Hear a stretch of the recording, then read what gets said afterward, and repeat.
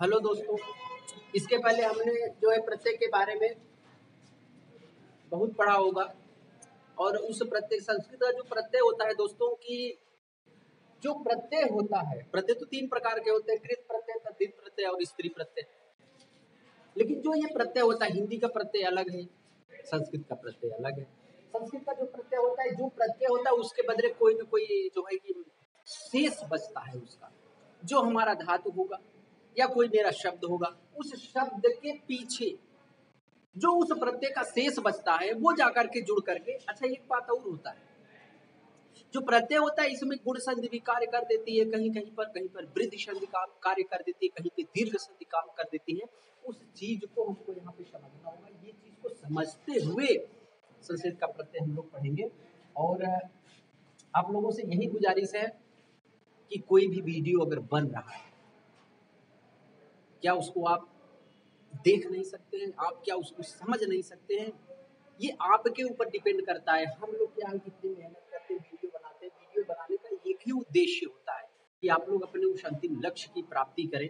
उद्देश्य हम लोग बनाते हैं। कोई भी क्रियाकलाप अगर चालू की जाती है, कोई भी अगर शासन या प्रशासन के स्तर पर कोई भी कार्यक्रम जब क्रियान्वित किया जाता है तो उनका उद्देश्य होता है, लक्ष्य अंतिम होता है। उद्देश्य होता है कि हम ये करेंगे ये करेंगे ये करेंगे और जो लक्ष्य होता है लास्ट में सबका सामूहिक रूप से विवेचन करते हुए कि कितने प्रतिशत तक हम लोग इस कार्य को करने में सफल हुए। तो वही प्रक्रिया यहाँ पर होती है। तो दोस्तों, प्रत्यय पढ़ने से पहले थोड़ा प्रत्यय के बारे में जानकारी हम लोग करते हैं कि प्रत्यय होता क्या है। बोलते हैं कि प्रत्यय परस्य। परमाने बाद में दोस्तों, परमाने बाद में। करें कि जो प्रत्यय होता है वो किसी भी शब्द के पीछे लगता है। कहाँ लगता है? शब्द के पीछे। किसी भी शब्द के पीछे लगता है। जब किसी भी शब्द के पीछे ये लग जाता है तो क्या करता है? तो उसके अर्थ को बदल देता है। उसके अर्थ को बदल देता है। जब उसके अर्थ को बदल देगा तो यही तो प्रत्यय है। आखिर प्रत्यय कहता है कि भैया वो आप चाहे जो हो, चाहे आप धातु में हो, चाहे आप शब्द में, चाहे जिसमें हो लेकिन अगर मैं आपके पीछे लग गया तो आपके सारे अस्तित्व को मैं बदल दूँगा, ये मैं प्रत्यय हूँ। तो ये प्रत्यय होता कैसे कैसे है, थोड़ा समझते हुए चलते हैं। तो प्रत्यय जो है डायरेक्टली मैं पढ़ा रहा हूँ दोस्तों, इससे आप लोग देखिए पॉज करके वीडियो को पॉज कर दिया करें, और जो भी चीज़ लिखना हो, वो लिख लीजिए। प्रत्यय की परिभाषा सबको पता है, प्रत्यय होते कितने प्रकार के हैं। कहते कि विधीयते, प्रतीयते इति प्रत्यय। है प्रत्यय किसी भी शब्द के पीछे लग करके उसके अर्थ को बदल देता है, वही प्रत्यय कहा जाता है। तो प्रत्यय होते कितने प्रकार के हैं? तीन प्रकार के पढ़ने हैं दोस्तों। हमको किसमें संस्कृत में पढ़ने हैं। और संस्कृत में प्रत्यय तीन प्रकार के कौन से? नंबर एक होता है दोस्तों, कृत प्रत्यय। कौन सा प्रत्यय? कृत प्रत्यय। नंबर दूसरा होता है दोस्तों, तद्धित प्रत्यय। और तीसरा मेरा होता है स्त्री प्रत्यय। कौन सा प्रत्यय होता है? स्त्री प्रत्यय। अब स्त्री प्रत्यय के दो तरीकों से हम लोग पढ़ेंगे। एक होता है दोस्तों टाप और एक दूसरा होता है नीप, या डाप बोल दिया जाता है। तो इसलिए दोस्तों टाप पहले से इसी में टाप प्रत्यय जोड़ दिया जाता है। टाप प्रत्यय का आवाज़ शेष रहता है। क्या शेष रहता है? यहाँ शेष रहता है। कहते हैं कि जब कोई पुलिंग शब्द हो, कोई पुलिंग शब्द हो, उसको अगर स्त्रीलिंग बनाना है तो स्त्री प्रत्यय का प्रयोग कर दो। पुलिंग वाला आदमी स्त्रीलिंग हो जाएगा। कैसे होगा? देखते हैं। जैसे मान लो मेरा नाम दोस्तों संजीव है। मेरा नाम क्या है? संजीव। इसी में टाप प्रत्यय लगा दो। मैं पुलिंग हूँ। पुलिंग शब्दों को स्त्री स्त्रीलिंग बनाना है दोस्तों। मैं संजीव, मेरा नाम मैं पुलिंग हूँ। और देखिए, टाप प्रत्यय का क्या शेष रहता है दोस्तों? आशेष रहता है। मैं बताया था कि प्रत्यय के बदले कोई ना कोई चीज़ रहता है, शेष। और वही शेष आकर के जुड़ जाता है और उसके भाव को बदल देता है। तो देखिए यहाँ पे संजीव धन दोस्तों, आ। अब देखिए, संजीवा में आ जुड़ गया तो बन के आ जाएँगे हम? संजीवा। तो देखिए, हमारा लिंग परिवर्तन हो गया दोस्तों। तो समझते जाइए कि किसी भी पुलिंग शब्द को, जब स्त्रीलिंग बनाना होता है तो उसी में स्त्री प्रत्यय का प्रयोग कर दिया जाता है, वो सीधे हो जाता है। क्या? अब यहाँ पे देखिए, मैं परिभाषा बताता हूँ। कृत प्रत्यय, तद्धित प्रत्यय और स्त्री प्रत्यय। तीन प्रत्यय पढ़ना है, सबसे पहले हम लोगों को कृत प्रत्यय पढ़ना कृत प्रत्यय कहते थोड़ा सा समझिएगा। कृत प्रत्यय दोस्तों नॉर्मल जानकारी से आप लोग चलते हैं, हम लोग चलते हैं। कहते हैं कि कोई धातु होगी, उसी के साथ पूरा कृत प्रत्यय होता है। कृत प्रत्यय का प्रयोग हमेशा हमेशा, अगर कभी भी क्वेश्चन आयोग बनाता है कि कृत प्रत्यय का प्रयोग किसके साथ होता है? तो दोस्तों, धातु के साथ होता है। और धातु के पीछे लगेगा दोस्तों। तो कृत प्रत्यय धातु होगी, उसके साथ कृत प्रत्यय प्रयोग किया जाएगा। तो देखिए, इससे ध्यान दीजिएगा, वो जो मेरा शब्द मिलेगा वो संज्ञा हो जा हो सकता है या तो विशेषण हो सकता है। और यही यही संज्ञा या बने शब्द संज्ञा या विशेषण को ही दोस्तों कृदंत बोलते हैं। क्या बोलते हैं? कृदंत। मतलब कि जब धातुओं को, जब धातुओं को कृत प्रत्यय के साथ जोड़ दिया जाता है तो उनसे बने जो नए शब्द होते हैं, नए शब्द होते हैं, इन नए शब्दों को ही कृदंत कहा जाता है। कृत प्रत्यय क्या होते हैं? जिनका प्रयोग धातुओं के साथ हो कृत कृत किसे कहेंगे? कृत प्रत्यय किसे कहेंगे? ऐसे प्रत्यय जिनका प्रयोग धातुओं के साथ होता है, धातुओं के पीछे लग करके उनके अर्थ को बदल देते हैं, वो कृत कहलाते हैं। और जब दोनों धातु और कृत का दोनों का संयोग कर दिया जाता है तो उससे संज्ञा या विशेषण शब्द का नया निर्माण होता है और इसी नए शब्द को ही कृदंत बोला जाता है। कंफर्म अब हम लोग जो है, आप लोग वीडियो को पॉज करते हुए देखते जाइए। अब इसके आगे हम लोग पढ़ते हैं। कृत प्रत्यय को पढ़ने से पहले पहले दो चीज़ समझ लीजिए। दोस्तों, मैं इसके पहले वीडियो में बताया था, लेकिन फिर भी मैं बता रहा हूँ। कृत प्रत्यय पढ़ने से पहले दो धातुएँ जान लीजिए। एक होता है सेट धातु। मैंने ज़िक्र किया था कि सेट और अनिट धातु दोनों बताएँगे। एक सेट धातु होता है, एक दोस्तों होता है अनिट धातु। अनिट धातु। सेट धातु और अनिट धातु। तो सेट धातु किसे कहते हैं दोस्तों? अब हम लोग थोड़ा सा पीछे जाएँगे जानकारी करेंगे, सबको पता होगा कि संस्कृत में लकारों की संख्या कितनी होती है दोस्तों। लकारों की संख्या, लकारों की संख्या दोस्तों दस होती है। हम लोग पढ़ते कितने हैं दोस्तों? पाँच पढ़ते हैं लकार। कौन कौन से? नंबर एक, लट लकार। लट लकार को दोस्तों क्या हिंदी में कहते हैं? वर्तमान काल कहते हैं। दूसरा होता है दोस्तों लंग लकार होता है। लंग लकार होता है। इसे दोस्तों भूतकाल कहा जाता है। तीसरा होता है दोस्तों लेट लकार होता है। लेट लकार को कहते हैं दोस्तों भविष्य काल कहते हैं। और जो चौथा मेरा होता है, ये होता है लोट लकार। लोट लकार को दोस्तों कहते हैं आज्ञा के अर्थ में इसका प्रयोग होता है। आज्ञा के अर्थ में। और नंबर पांचवा होता है दोस्तों विधि लिंग। विधि लिंग, इसका प्रयोग होता है चाहिए के अर्थ में दोस्तों। किसके अर्थ में? चाहिए के अर्थ में। तो नीचे आपको दिखाई नहीं दे रहा है, लेकिन मैंने बताया कि नंबर एक लट लकार होता है, इसे वर्तमान काल कहते हैं, दूसरे को लंग लकार कहा जाता है, जिसका हिंदी में भूतकाल नाम होता है। तीसरा नृट लकार होता है, जिसे भविष्य काल बोला जाता है। चौथा लोट लकार होता है, जिसे आज्ञा के अर्थ में प्रयोग किया जाता है। और दोस्तों जो मेरा पांचवा होता है, वो विधिलिंग होता है, और जिसे चाहिए के अर्थ में प्रयोग किया जाता है। तो समझ में आया? तो यहाँ पे अगर हमको सेट और अधिक धातुएँ पढ़नी है तो दोस्तों, केवल दो धातुओं का प्रयोग होता है, और एक चीज़ और है। आप लोग जो है कि वीडियो देख रहे हैं, लेकिन आप लोग भी कोई कार्यक्रम किया करिए। जैसे अगर जो चीज़ यहाँ पे मैं बताऊँ तो उस चीज़ को ढूंढा करिए, देखा करिए।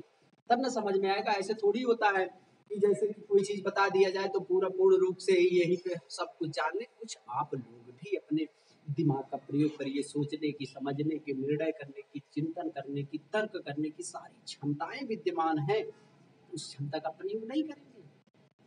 हुँ? तो तैयार हो जाते हैं हम लोग लड़ाई के लिए, प्रत्यय के लिए। तो देख लीजिए, हम समझते हैं थोड़ा सा। एक मैंने धातु ले लिया पठ धातु। ध्यान दीजिएगा ध्यान पूर्वक आप लोग बाद में उधर देखेंगे। और एक हम ले लेते हैं, गम दोनों के फ़र्क को समझेंगे, दोनों का रूप हमको पता है कि इसका रूप चलता है पठती, पठता, पठत, इसका चलता है गम बराबर होता है गच्छ। गच्छ बराबर गच्छति, गच्छता है गच्छति, रूप चलता है। तो इस पट धातु का हम लोग किसका रूप याद करेंगे देखेंगे, वर्तमान काल मतलब कि लट लकार। इसका भी वर्तमान काल लट लकार का, लट लकार। और इसका लेंगे, और फिर उसके बाद दोस्तों, इसको मैं मिटा देता हूँ।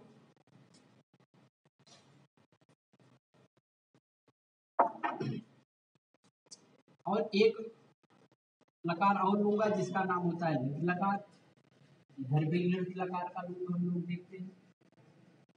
अब देखिए। वर्तमान काल में अब दो चीज़ और समझ लीजिए। मान लो अगर जैसे हमको पठ धातु मिल गई और एक हमको मिल गया गम धातु मिल गया। दो धातुएँ हैं दोस्तों। अब क्या चीज़ मैं पूछना चाहता हूँ? ध्यान दीजिएगा। मैंने पूछा, पठ धातु का मूल वर्ण क्या है? मतलब कि पठ, धातु किन वर्णों से मिलके बना है? पठ धातु किन वर्णों से मिलके बना है। तो हम लोग देख रहे हैं कि क और ठ से। अगर हमने आपसे पूछा, ग धातु किन वर्णों से मिलके बना है तो ग और म से मिला है। सबको पता है, मूल वर्ण का मतलब ऐसे वर्ण जिनके मिलने से वो धातु तैयार हुई है, वह शब्द। ऐसे सब। वो कौन कौन से अक्षर हैं या कौन कौन से वर्ण हैं जिनके द्वारा वो तैयार किए गए हैं? जैसे अगर हमको मिल गया राम। पूछेंगे राम का मूल वर्ण क्या है? तो र है, आ की मात्रा है, म है। तो यहाँ पे हमने पूछा पट धातु का मूल वर्ण क्या है तो है ग का, गम का, गम और ग और म है? हमने पूछ लिया, दोस्तों ध्यान दीजिएगा, हमने कहा पट धातु के मूल वर्ण का वर्ग, हिंदी में या संस्कृत में वर्ग होते हैं, क वर्ग, प वर्ग, च वर्ग, त वर्ग त वर्ग तो अब देखिए ये प किस वर्ग का है? प वर्ग का है। ठ किस वर्ग का है? तो त वर्ग का है। ये ग किस वर्ग का है? तो क वर्ग का है। ये म किस वर्ग का है? प वर्ग का तो हमको दो तीन चीज़ समझ में आया कि अगर मूल वर्ग पूछा जाएगा तो प और ठ होगा? इसका मूल वर्ग ग और म होगा। वर्ग अगर पूछे जाए तो प वर्ग का, प का प वर्ग है ठ का ट वर्ग है, ग का ट वर्ग है, म का ये वर्ग पता हो गया अब देखते हैं इसका रूप कैसे चलता है। एक वचन में, वर्तमान काल लटकार में सबको पता होगा दोस्तों की चलता है पठती पठत पठंती पता हो गया? इसका क्या चलता है? गच्छति, गच्छत, गच्छन्ति। देखिए इसी का, इन्हीं शब्दों का, इन्हीं धातुओं का लिट लकार में भविष्य काल में कैसे रूप चलेगा इसका चलता है? पठिष्यति। पठिष्यत, पठिष्यन्ति। इसका चलेगा? गमिष्यति। गमिष्यत। गमिष्यन्ति। जो चीज़ मैं पकड़ाना चाहता हूँ, पकड़िएगा सेट और रवि दोनों साथ में मैं बता रहा हूँ। अगली वीडियो में मैंने केवल सेट ही धातु बताया था और अन्य धातु नहीं बताया था, लेकिन इसमें मैं दोनों को साथ में जिसकी इनकी तुलना की जाए और आप लोगों को समझ में आएगा तो दोस्तों, अगर मैंने पूछ लिया, पठ धातु का मूल वर्ण जो रूप वर्तमान काल का मैं लिखा हूँ लट लकार का और भविष्य काल का। क्या इन ध्यान दीजिएगा ये वर्तमान काल है और ये भविष्य काल है? हमने कहा कि पठ जो मूल वर्ण है, पठ धातु का मूल वर्ण क्या और हमने कहा कि क्या जो वर्तमान काल का रूप हम लोग लिखे हैं, पढ़ते हैं क्या उसमें पावर ठ मिल रहा है तो आप लोग ध्यान से देखिएगा प भी मिल रहा है ठ भी मिल रहा है प भी मिल रहा है ठ भी मिल रहा है। इधर देखते हैं। इधर का मूल धातु क्या है? ग और म है। तो हमने पूछा कि आप बता दीजिए कि लट लकार में क्या गम मिल रहा है? गम धातु का मूल वर्ण मिल रहा है? तो गम मिल रहा है, लेकिन दोस्तों म नहीं मिल रहा है। देख रहे हैं आप अब इसमें देखिए, ग भी मिल रहा है और म भी मिल रहा है। तो कहीं ना कहीं दोस्तों, इस अनिट धातु में ध्यान दीजिएगा कि यहाँ पे देखिए मूल वर्ण नहीं मिल रहा है लेकिन सेट धातु में मूल वर्ण मिल रहा है। पावर है पावट है तो देखिए सेट और अनिट किसे कहते हैं? ध्यान दीजिएगा कि जिनका वर्तमान काल का रूप और भविष्य काल का रूप अपने मूल वर्ण पर हो, उसे सेट धातु कहते हैं। ये चीज़ पढ़ी पढ़ाई है अब समझ गए उसे कौन सी धातु कहेंगे? सेट धातु कहेंगे। ऐसे धातुएँ ऐसी धातुएँ जिनका वर्तमान काल का रूप और भविष्य काल का रूप अपने मूल वर्ण पर प उठा पर हो तो पाठा पाठा दोनों में ऐसे धातुएँ जिनका वर्तमान काल का रूप और भविष्य काल का रूप अपने मूल वर्ण पर ना हो। उन्हें क्या कहेंगे? अनिट धातु कहेंगे।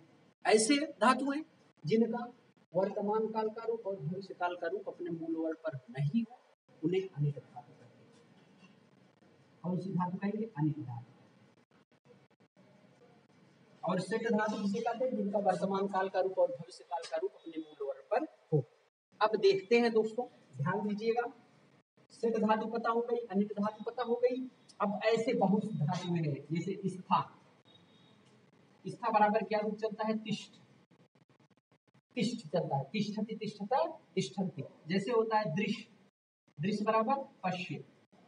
गम बराबर गच्छ होता है। तो रूप जैसा तिष्ठति तिष्ठता, तिष्ठति दृश्य नहीं मिलता। मूल धातु में, ध्यान दीजिए मूल धातु क्या है? स्था है। इसका दृश्य है। द्रश्य है। लेकिन यहाँ पे रूप चलता है पश्चित पश्चित तो इसका स्थाशियत इसका द्राक्षियत हो जाता है, लेकिन इधर चलता है तिष्ठति, तिष्ठत तिष्ठत।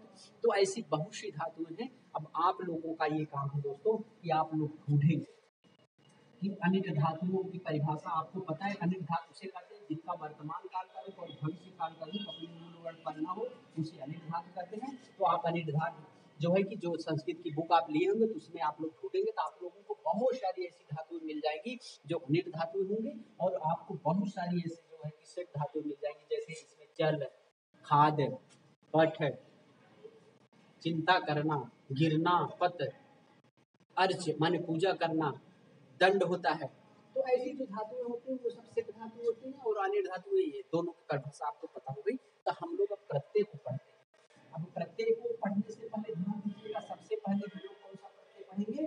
कृत प्रत्यय दोस्तों जो मैं मिटा दे रहा हूँ ये आप लोग पॉज करके लिखना चाहेंगे तो लिख सकते हैं। आप लोग अपने हिसाब से वीडियो बना सकते हैं। अगला चीज़ हम लोग देखते हैं।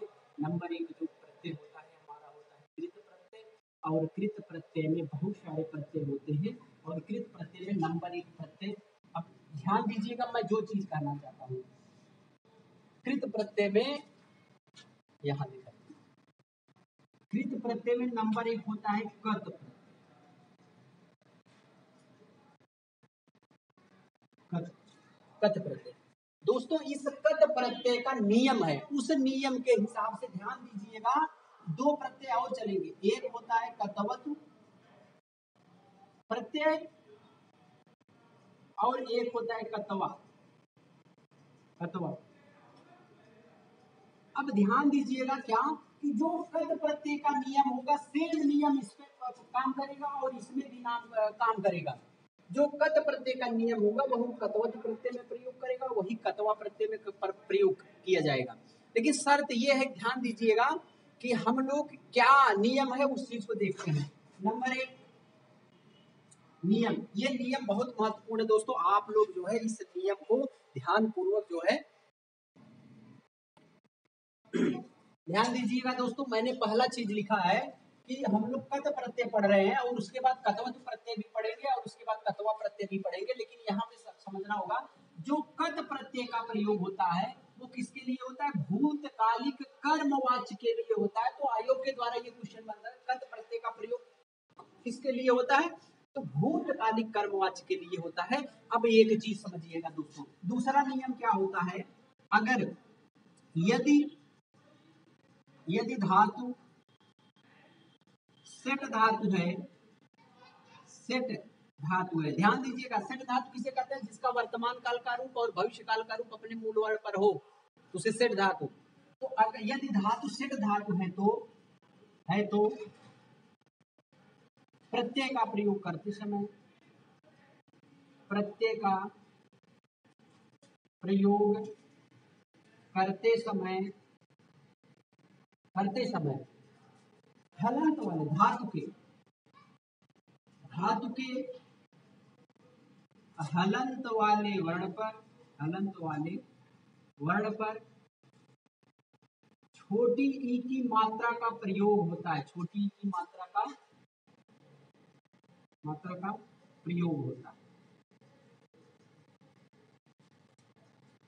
अब उसके बाद तीसरा नियम क्या होता है कि यदि धातु यदि धातु अनिट धातु है। अनिट धातु है। तो ई की मात्रा का प्रयोग का प्रयोग नहीं। नहीं होता। दोस्तों, इस नियम को आप लिख लीजिएगा। बहुत ज़रूरी है ये नियम, क्योंकि ये नियम कत प्रत्यय में प्रयोग होगा कतवत प्रत्यय में प्रयोग होगा और कतवा प्रत्यय में भी और तीसरा जो नियम है दोस्तों, चौथा नियम है, यदि धातु का धातु का अंतिम वर्ण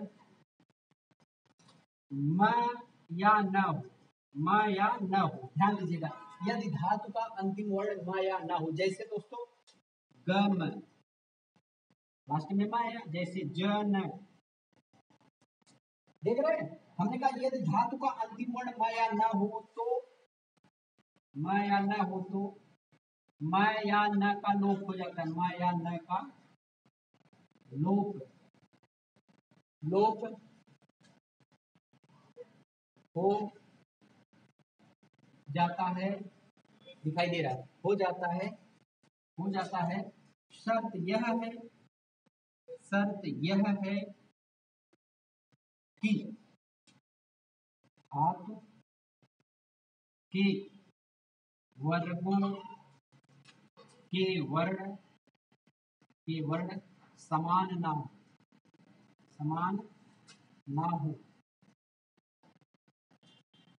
अब दोस्तों समझिएगा कि हमने पहला जो चौथा नियम लिखा है, यदि धातु का अंतिम वर्ण म या न हो तो म हो म या न हो तो म या न का लोप हो जाता है।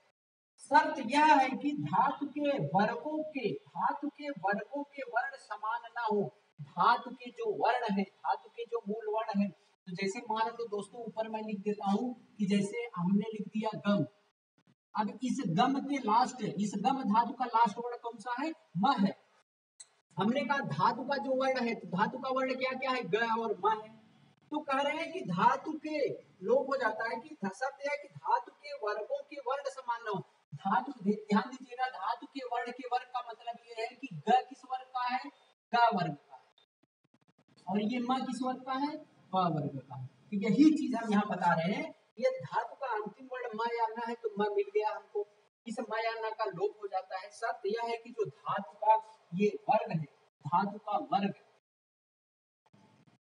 धातु का धातु का जो वर्ग है, धातु का वर्ग कौन कौन सा? का वर्ग है और वर्ग है? इनका जो वर्ण है, ये समान ना हो तो समान तो कहाँ है? दोस्तों, एक ग है, एक म है तो इस म का इसलिए लोप हो जाएगा। बचेगा क्या? केवल ग बचेगा। अगर हमने कह दिया दूसरा, जन तो अब देखिए जो इसका मूल वर्ण है, ज और न है। अब देखते हैं दोस्तों कि च का वर्ग सॉरी, ज का क्या वर्ग है? च वर्ग है।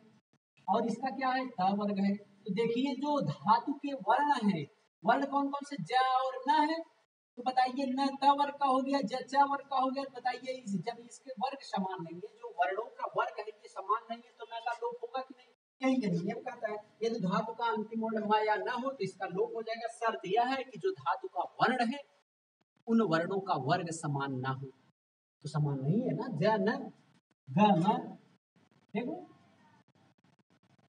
जब, अब देखो, अगर हमने लिख दिया न, म, क्या इस म का लोप होगा? आप बताइए हाँ क्योंकि ये न किस वर्ग का है, त वर्ग का है, और ये भाई साहब किस वर्ग के हैं? प वर्ग के हैं। तो म का लोप हो जाएगा। क्यों हो जाएगा? क्योंकि न वर्ग का है म प वर्ग का है, इनके जो वर्ण है, इनका वर्ग समान नहीं है, इसलिए इस म का लोप हो जाएगा। कब? जब कत प्रत्यय का प्रयोग किया जाएगा। अभी तो नियम पढ़ रहे हैं दोस्तों। अगला नियम है, पांचवा नियम है, यदि धातु का अंतिम वर्ण अंतिम वर्ण म या न हो म या न हो तो म या न का न का लोप नहीं होगा, लोप नहीं होगा। शर्त यह है यह है कि शर्त यह है कि दोस्तों दिखाई देगा, शर्त यह है कि नीचे वाले में नहीं दिखाई देगा। शर्त यह है कि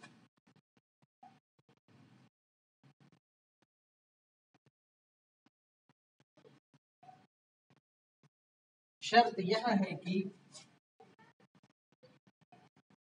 धातु के वर्णों का वर्ग समान हो समान हो।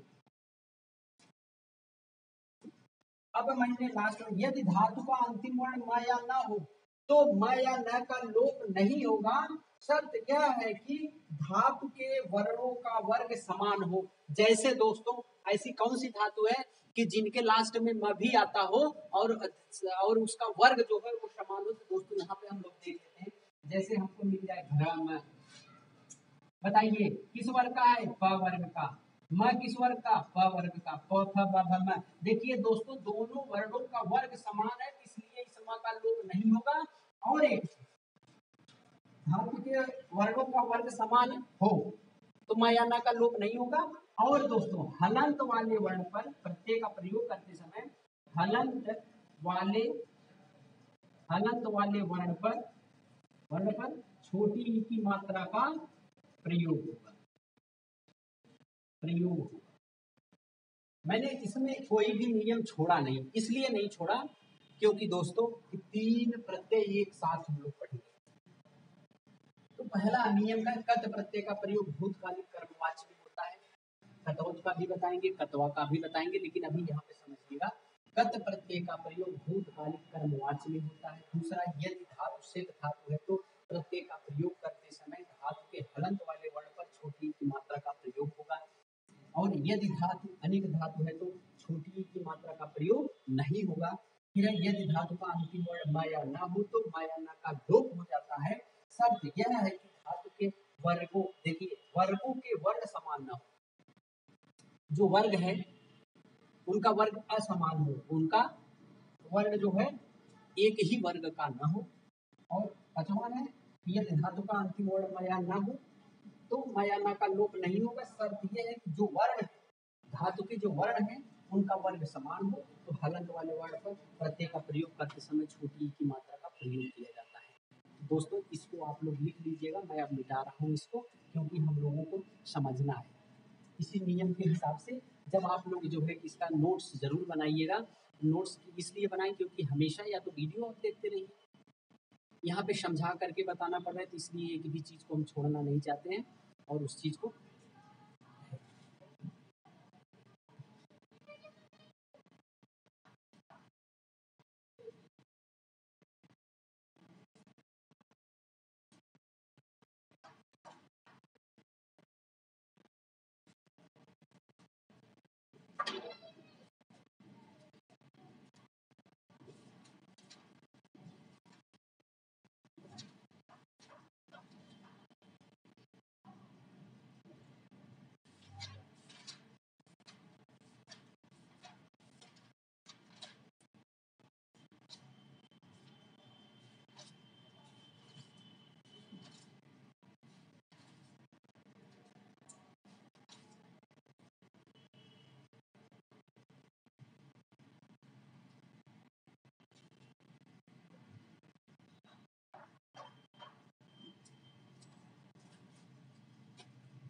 अब देखिए दोस्तों प्रत्यय का प्रयोग करते हैं।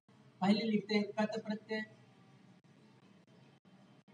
फिर दूसरा है कर्तवतु कर्तवतु प्रत्यय कैसे प्रयोग होगा? फिर लास्ट है कत्वा अब ध्यान दीजिएगा कत्वा का दोस्तों केवल त्वा शेष रहता है। मतलब अगर किसी भी धातु के साथ कत्वा प्रत्यय का प्रयोग कर दिया जाएगा तो क्या शेष रहता है? त्वा शेष अब मान लो, अब कैसे इसको समझेंगे? कि कोई धातु, ध्यान दीजिएगा, कोई धातु हो गई धातु में कतवा प्रत्यय का प्रयोग कर दिया जाएगा। तो बचेगा क्या? धातु प्लस तो यही तो शेष उसमें जोड़ दिया जाएगा तो आपका आ जाएगा। इधर कतवत प्रत्यय में ध्यान दीजिएगा, कोई धातु होगी मेरी, उसमें आप लोग कतवत प्रत्यय का प्रयोग करेंगे तो तीन रूपों में ये मिलेगा एक पुलिंग में शब्द मिलेगा, एक स्त्रीलिंग में शब्द मिलेगा और दोस्तों एक नपुंसक लिंग में शब्द मिलेगा। तो यहाँ पे मिलेगा हमको तवान स्त्रीलिंग में तवती और नपुंसक लिंग में मिलेगा तवत और दोस्तों की जब कोई धातु होगी मेरी, उसमें किसका प्रत्यय करेंगे? कत प्रत्यय का प्रयोग करेंगे तो तीन रूपों में ये भी हमको मिलेगा। एक मिलेगा पुलिंग में, एक मिलेगा स्त्रीलिंग में, एक मिलेगा नपुंसक लिंग तो दोस्तों, इसमें क्या मिलेगा? तह स्त्रीलिंग में ता और नपुंसक लिंग में ता। अब ध्यान दीजिएगा दोस्तों, हम जो चीज़ यहाँ पे बताना चाहते हैं, फटाफट अभी देखिए, पहला नियम। ये क्या है? ये सब समझ लीजिए कि कत प्रत्यय का प्रयोग जब देखिए, ध्यान दीजिएगा, किसी कोई धातु होगी धातु क्योंकि कृत प्रत्यय के अंतर्गत ये तीनों प्रत्यय हैं तो कृत प्रत्यय का प्रयोग धातुओं के साथ होता है तो भाई कत प्रत्यय, कृत प्रत्यय के अंतर्गत है तो इसलिए धातु होगी कोई उसमें कत लगाएँगे तो उस पूरे शब्द को तीन रूप में बना सकते हैं नंबर पहला पुलिंग में बना सकते हैं स्त्रीलिंग में भी नपुंसक लिंग में लेकिन शर्त यह है कि जब कोई धातु के साथ कत प्रत्यय लग जाएगा तो अगर पुलिंग पूरे शब्द को बनाना है तो तह जोड़ना पड़ेगा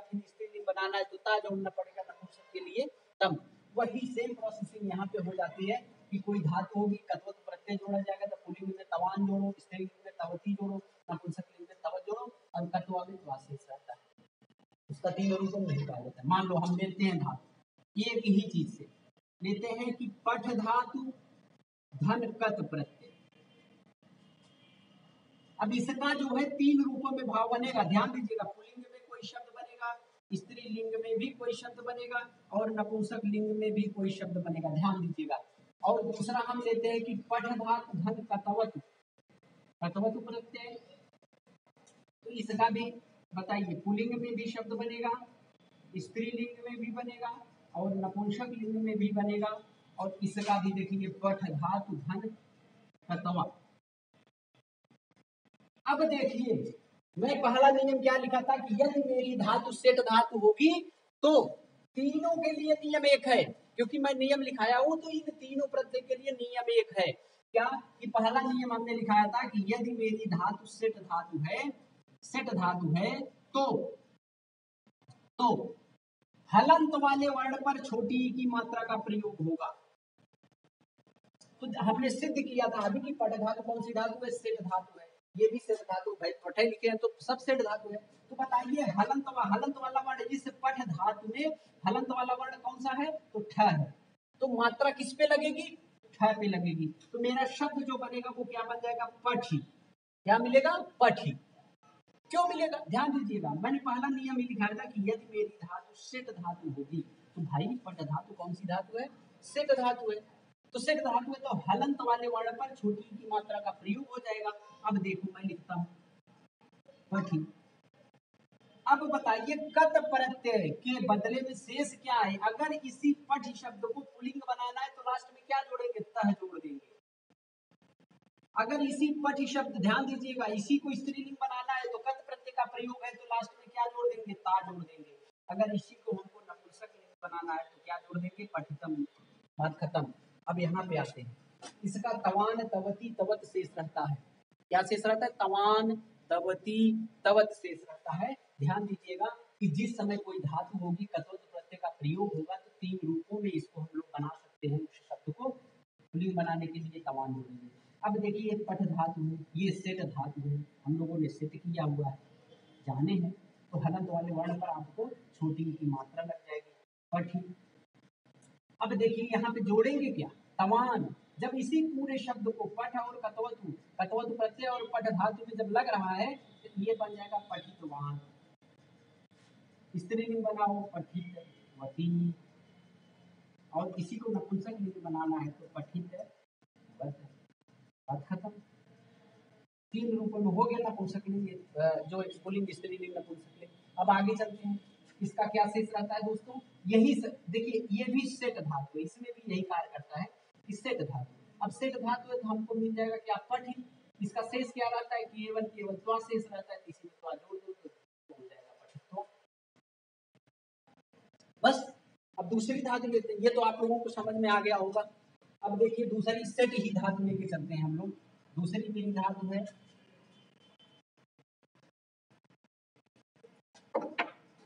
खाद ले लेते हैं। खाद धातु के साथ हम लोग कत प्रत्यय का प्रयोग करेंगे। तो बताइए आप लोग, खाद कौन सी धातु है? सेट धातु है दोस्तों। ये आप लोग ढूंढिएगा मैंने सेट धातु लिखवा दिया था, लेकिन अनिल धातु इसलिए नहीं था। आप लोग जाकर के उसको ढूंढेंगे देखेंगे। और दोस्तों, यहाँ पे समझना है। तो बताइए हमको, ये जब ये सेट धातु है तो सेट धातु है तो बताइए, छोटी मात्रा किस पे? हलंत वाला वर्ण कौन है? तो ये हमको मिल जाएगा खादी। इसी को बनाओ। पुलिंग खादित अगर किसी को स्त्रीलिंग बनाना है तो खादिता, नपुंसक लिंग बनाना है तो खादितम अब आप लोगों को समझ में आ गया होगा। इसी में ये जोड़ दो। खाद धातु है। इसी में तत्वत प्रत्यय जोड़ दो। तो ये बन जाएगा खादितवान। खादितवान। फिर उसके बाद क्या बनेगा? खादितवती। फिर ये क्या बन जाएगा? खादितवत। अब ये देखिए ये भी ये जब इसी में खाद धातु में कतवा प्रत्यय जोड़ दिया जाएगा तो ये बन जाएगा दोस्तों क्या? खादित्वा। जब से धातु रहेगा तभी लगेगा। तीनों का नियम एक है। दूसरा देखते हैं दो, दोस्तों। अब बहुत सारी ऐसी धातुएँ होंगी जो मैंने दिखाया है। आप लोगों को आप लोग ढूंढ करके उसमें इस प्रत्यय का प्रयोग करेंगे। आप लोग स्वयं जानने की कोशिश करेंगे। आप लोग भी उस नियम देखिए, जिस समय इसको आप वीडियो देखेंगे तो उसी समय आप ढूंढ के बना दीजिएगा, जिससे कभी ज़िंदगी में भूले ना ये। दूसरा, अनिट धातु। अब अनिट धातु ध्यान दीजिएगा, जैसे हम देखिए, नी। नी भी अनिट धातु होती है। और एक बात समझ लीजिएगा कि जब किसी भी वर्ण पर स्वर की मात्रा लग जाए, बहुत बड़ी चीज़ बता रहा हूँ, मान लो कोई स्वर, मान लो न है ये, न पे किसकी मात्रा लगी है? बड़ी की मात्रा। जब किसी भी वर्ण पर किसी भी स्वर की मात्रा लग जाएगी तो उस पर कोई दूसरा स्वर की मात्रा काम नहीं करती। अब मान लो इसी नी पे हमने छोटे ऊ की मात्रा, स्वर की ऊ की मात्रा का जो है कि प्रयोग कर दिया बताओ इसका कोई नी, नू क्या पढ़ेंगे? कुछ नहीं पढ़ेंगे ना। पढ़ सकते हैं, नहीं पढ़ सकते। तो किसी भी अगर वर्ड पर किसी भी स्वर की मात्रा लग जाएगी तो दूसरे स्वर की मात्रा उस पर कार्य नहीं करती है। तो ये आप लोग जानिएगा। नहीं तो ज़बरदस्ती लगाना है तो लगा दीजिए। लगा करके कोई फ़ायदा नहीं होने वाला है और दिमाग का लोचा होगा। तो यहाँ पे समझते मान लो अगर हमको मिल जाएगी, नी नी माने ले जाना होता है। और ले जाना, ध्यान दीजिएगा, ये द्विकर्मक भी धातु है। किस सूत्र के अंतर्गत आता है? तो अकथितम च सूत्र के अंतर्गत आता है। अकथितम च में क्या होता है कि द्वितीय विभक्त का ये जो है कि सूत्र होता है। अकथितम च। कहते हैं कि संस्कृत में सोलह ऐसी धातुएँ होती हैं कि जिनके साथ दो दो कर्मों का प्रयोग किया जाता है। याच, पच, प्रक्ष, नी, ची ची कृष वह ह्री मथ, पृक्ष, दंड रुद्ध ये शास ये सब जो धातुएँ होती है, इनके साथ दो कर्मक दो दो कर्मों का प्रयोग किया जाता है। दोस्तों, इसके आगे मैं बताऊँगा। धीरे धीरे वीडियो बनाऊ, प्रत्यय से स्टार्ट किया हूँ। तो नी में अगर हमको कत प्रत्यय जोड़ना है। और मान लो नी में कतवत प्रत्यय जोड़ना है। बस केवल इसी का, केवल केवल जो शेष बचता है वही जोड़ते हैं, क्योंकि और स्वर की मात्रा नहीं प्रयोग कर सकते। तो पुलिंग बनाना है तो नीता स्त्रीलिंग नीता नपुंसक लिंग नीतम बात खत्म। इसका अब आप लोग फटाफट पकड़ लेंगे, इसका हो जाएगा नीतवान। इसका हो जाएगा नीतवती। इसका नीतवत। इसका निधन कतवा प्रत्यय। अब तो आप लोग फटाफट बोल रहे होंगे, इसका क्या बन जाएगा? नीतवा बात खत्म। अगली धातु लेते हैं दोस्तों। अगली धातु हम लोगों की है, जो हमने कहा कि यदि किसी धातु का अंतिम वर्ण म या न म या न अब यहाँ पे देख, देखिए दोस्तों, हम लेते हैं, ध्यान दीजिएगा, जैसे हमने ले लिया गम। इसका भी ले लिया गम। इसका भी ले लिया गम। गम में कतवा जोड़ेंगे इसमें गम और धातु में कटवत प्रत्यय जोड़ेंगे और इस गम में कद प्रत्यय जोड़ेंगे। अब देखिएगा हमने कहा कि यदि किसी धातु के लास्ट में म या न हो तो इस म या न का लोप हो जाता है। शर्त यह है कि धातु का जो वर्ण है तो धातु का वर्ण दोस्तों देखना, ग और म है। धातु का वर्ण क्या है? ग और म है। तो हमने कहा कि इनका वर्ग समान ना हो। तो बताइए, क का, ग का कौन सा वर्ग है? क वर्ग है, म का क्या है? प वर्ग है। तो देखिए दोस्तों, इस जो गम है, ग और म मूल वर्ग, और गम का जो वर्ग है, ये क वर्ग है, प वर्ग है तो दोनों का असमान वर्ग है। समान वर्ग है तो इस म का हम लोग लोप कर देंगे। अगर यही समान होता तो लोप नहीं करते तो अब देखते हैं, जब वर्ग समान नहीं है तो क्या प्रयोग होगा? ध्यान दीजिएगा आप लीजिएगा तो बताइए, गम है तो ये इसका वर्ग असमान है तो बताइए इस माँ का लोप हो जाएगा कि नहीं? आप लोग तो स्वयं जान रहे हैं, क्योंकि वही नियम बताया, इसका भी माँ का लोप हो जाएगा और इसके भी माँ का लोप हो जाएगा। अब बताइए, यहाँ पे अकेले केवल ग बचा है और कद प्रत्यय का प्रयोग कर दिया गया है। क्यों, मैं क्यों लोप हो गया? क्योंकि इनके वर्णों का वर्ग समान नहीं है। तो दोस्तों, किसी को अगर पुलिंग बनाना है, किसी को जोड़ो। गतः स्त्रीलिंग गता। नपुंसक लिंग, गतम, बात खत्म। इसको, इसके ग बचा है, ये गतवान। फिर क्या बचेगा? गतवती। फिर ये हो जाएगा गतवत। देखिए, फटाफट हो रहा है। क्यों लोप हो जाता है? यही नियम समझना था। अब ये समझ लिए तीन तीन प्रत्यय में प्रयोग कर रहे हैं। केवल शर्त ये है कि ये चीज़ याद करना पड़ेगा कि अगर किसी भी धातु के साथ कद प्रत्यय का प्रयोग हो रहा है, तीनों रूपों में, पुलिंग, स्त्रीलिंग में क्या शेष होता है दोस्तों? तो चहता दम शेष होता है इसका कटोत का तमान तवत शेष होता है और इसका कतवा केवल शेष होता है। अब देखिए, इसका ये गत्वा केवल बन जाएगा। गत्वा माने जा करके लिखितो माने लिख करके। बहुत ऐसी सारी धातुएँ हैं अब अगले नियम पे चलते हैं। दोस्तों, देखिए, आप लोग ढूंढिएगा वहाँ पे बनाइएगा। अगर गम धातु हो गया, अगला एक धातु और बता देते हैं, इसी का न वाला भी बता देते हैं। जैसे अगर हमको मिल जाएगा, जन। जन धन कत प्रत्यय जोड़ लो।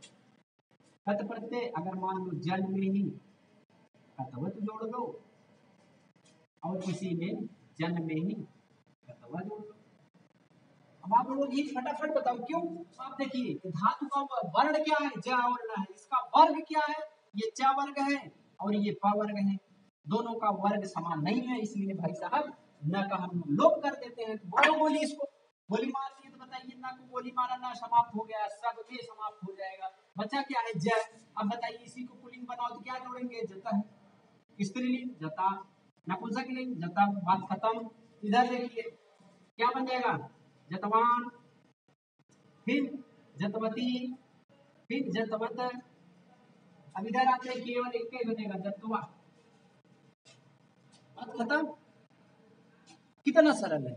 उस तरह से देखते तो बहुत टेंशन होता अब आप लोग धातुओं को प्रयोग करिएगा। जो भी धातु और आप लोग कमेंट में भी बताइएगा दोस्तों, जो भी न समझ में आया हो, उस चीज़ को आप लोग बताएँगे तो उसको और अच्छे से हम बताएँगे। वैसे आवश्यकता नहीं पड़नी चाहिए, यहाँ पे समझना है और उस समझ के द्वारा हम लोग कार्य कर सकते हैं। अगला देखते हैं। मान लो जो हमने अगले लिखा है कि, यदि मेरी धातु, यदि कोई धातु होगी, अगर उसके लास्ट में माया न हो, माया न हो, लेकिन उसका अगर वर्ग, जो वर्ग है उसका वर्ग समान हो तो जैसे हमको ऐसा धातु लेना है, जिनके वर्णों का वर्ग समान हो। जैसे हमने ले लिया भ्रम।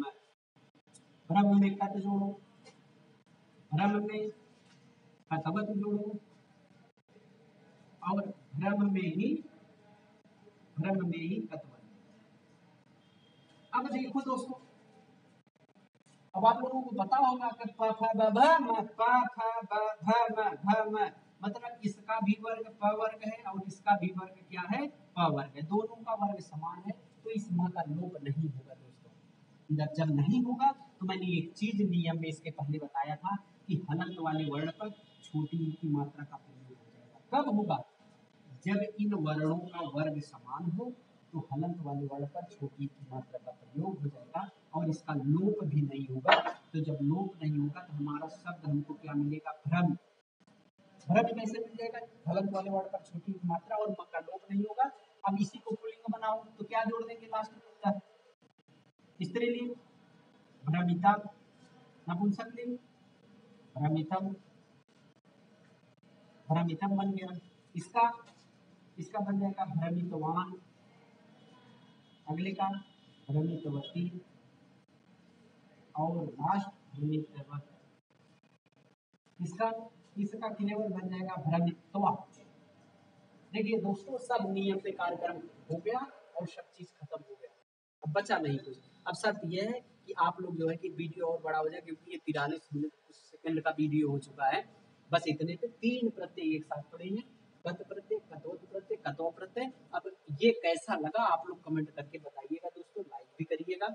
और मैं जो है कि कोशिश मेरी यही रहेगी कि इसके बाद जो कुछ भी आप लोग कहेंगे उस चीज़ को मैं लेके आऊँगा। जो समझ में नहीं आता है, देखिए, रटना नहीं है। आप लोग जैसा कहेंगे, उस तरीके से बताएँगे हम।